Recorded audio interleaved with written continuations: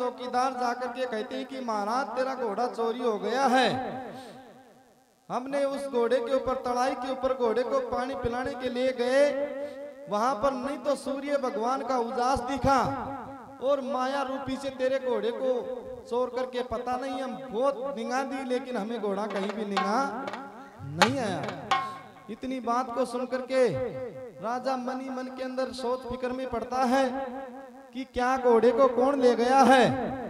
बताया जाता है कि जिस समय उस घोड़े का हरण करने के पश्चात जो कुंती का पुत्र भीम को चेत होता है और भीम के पास में ले जाकर के वर्ष के तू मेघवरण कहते हैं कि हम घोड़े का हरण करके लाए हैं, उसी समय के अंदर भीम कहता है, आपने किस प्रकार से घोड़े की चोरी की है? किस प्रकार से घोड़े को मेरे सामने लाए हो? जब मेघवरण कहता है कि मैं मेरी राक्षसी माया फैलाया हूँ। उसी समय के अंदर भीम कहता है कि तुम्हें धिकार है। एक छतरी होकर के और माया रूपी से तुमने घोड़े का हरण किया है। आपको धिक्कार है, आपका जीना बेकार है। राजा के सामने जाइए और युद्ध कर करके फिर घोड़े को नहीं इतनी बात को सुन करके दोनों कहते, हम युद्ध के लिए तैयार हैं। उधर से राजा योनासव अपनी सेजा सजा करके और उस जगह आता है।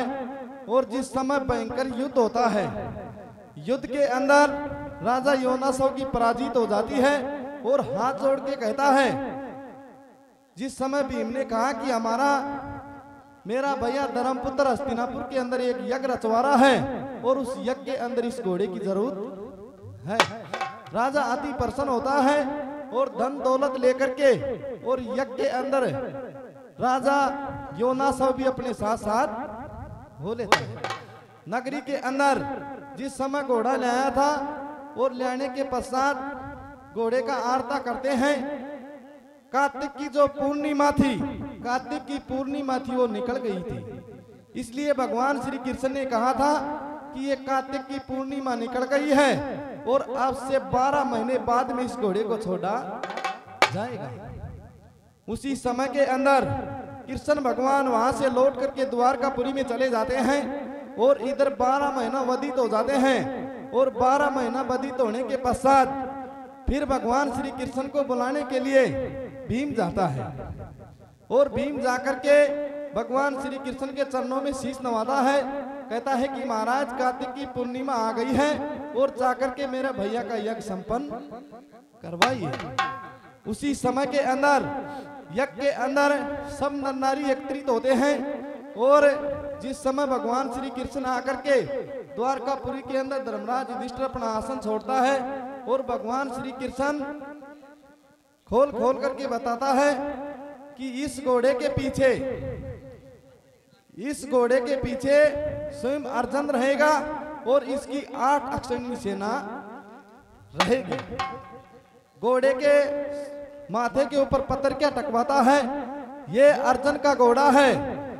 अगर इस घोड़े को कोई पकड़ने की शक्ति रखता हो तो अर्जुन से युद्ध करेगा। और अगर युद्ध नहीं करता है तो जिस नगरी के अंदर जब भी घोड़ा जाए, अपनी धन माया लेकर के और सारा धर्म के यज्ञ के अंदर ले आना।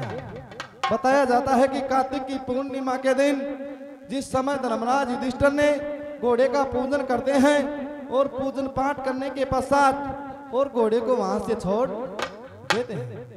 पीछे पीछे अर्जुन की सेना साथ में अर्जुन और चलते चलते काकड़ के ऊपर जाते हैं और उस काकड़ के ऊपर सालव का पुत्र अनुसालव।